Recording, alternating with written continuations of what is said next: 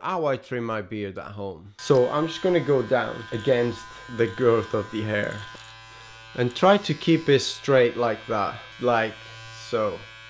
Take these corners here, I'll take a little bit of this bulk, just go against the growth to sharpen it up and keep that shape.